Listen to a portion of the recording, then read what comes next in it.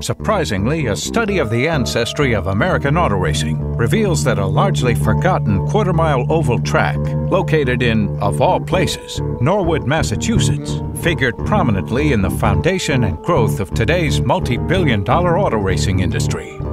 What is the connection between Norwood Arena and legendary tracks like Daytona International Speedway in Florida, Talladega Superspeedway in Alabama, and Martinsville Speedway in Virginia? The quest for answers to these questions uncovered a tight knit fraternity of old time drivers, officials, and race fans with engaging stories to share about a bygone era in American sports history. Norwood did end up playing an enormous role in NASCAR's history. Norwood was the hub of, of NASCAR racing in New England. If you could run Norwood, you could run anywhere. Norwood Arena, for some reason, was a breeding ground for the best race car drivers, I believe, gone anywhere in the country. If you won Norwood Arena, you could go anywhere. You won Norwood? You won Norwood on Saturday? You won two in a row at Norwood? This eclectic mix of characters came from different socioeconomic backgrounds, but shared a similar passion for speed, competition, and prize money. They were men who built, raced, crashed, and rebuilt their own vehicles, then did it all again the next week, or even the very next night. Norwood Arena had a way of making champions out of the guy next door.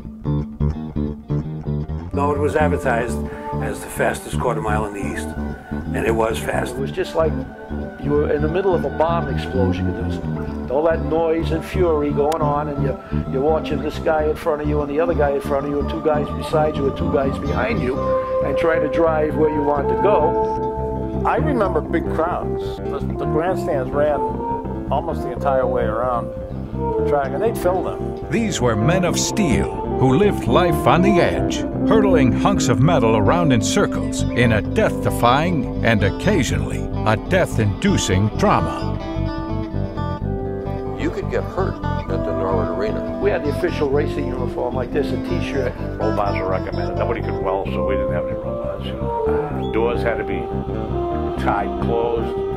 Just take our belts off, put them around the door so you could get in and out of the car. It was just very scary. It was, yeah. A few times I saw some awful accidents in Norwood. I mean, the sudden stop, the potential for the sudden stop was definitely there. More than a few people uh, paid a price at that place.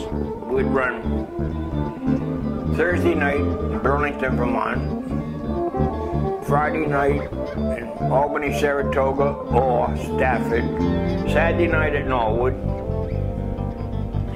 Sunday afternoon at Thompson, and then 90 miles an hour to Utica to catch the feature at night. Always at the end of the day, when I looked in the mirror, I saw myself as a race car.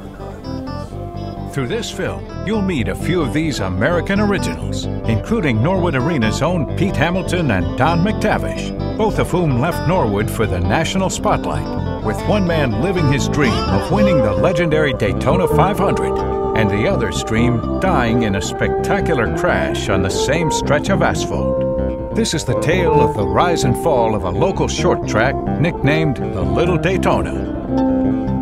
This is the story of Norwood Arena Speedway. Norwood Arena, racing through time. It was my track. I loved it. I'm 65 years old. If Norwood Arena was still there, I feel as though I'd still be racing.